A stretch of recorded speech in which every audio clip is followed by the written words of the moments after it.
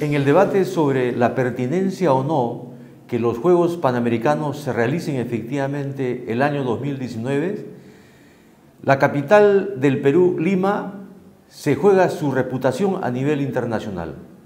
¿Esto por qué?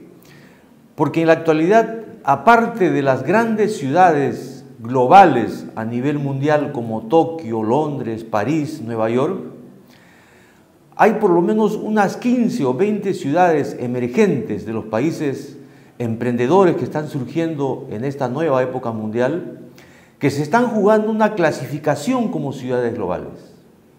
¿Qué cosa es una ciudad global? Es aquella que ofrece grandes servicios, grandes eventos internacionales, que tiene un adecuado sistema de transporte, un aeropuerto, dos aeropuertos hub que efectivamente puedan ser un punto de tráfico internacional, ser una ciudad cosmopolita, punto de referencia y prestigio a nivel internacional. Si Lima logra ser y logra realizar los Juegos Panamericanos el año 2019, habrán anotado puntos importantes en el propósito de ser precisamente una ciudad global. Y es esto lo que debían entender los políticos, la clase política y el empresariado nacional. No habría nada más negativo que dejar de realizar estos Juegos Panamericanos. Deberíamos hacer los esfuerzos necesarios porque efectivamente el Perú el año 2019 logre realizar exitosamente estos Juegos Panamericanos.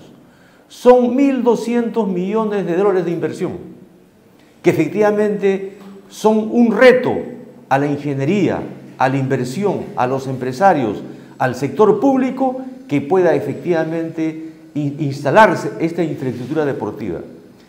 Infraestructura que además después de los Juegos Panamericanos y los Parapanamericanos puedan servir para el desarrollo de la actividad deportiva peruana.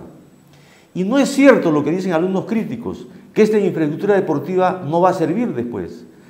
El Perú es uno de los países con más densidad en cuanto a juventud. Y la juventud necesita espacios de recreación deportivo para realizar sus actividades deportivas.